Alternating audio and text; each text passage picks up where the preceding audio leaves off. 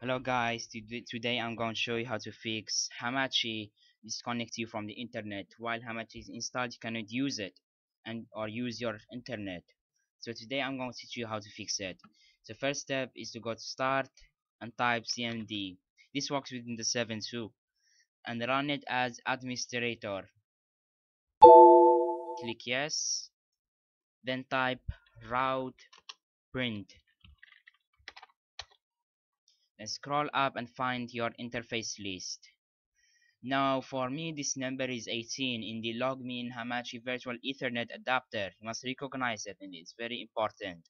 And the second step is type route delete 0 0.0.0.0 capital IF and type the number that you recognized.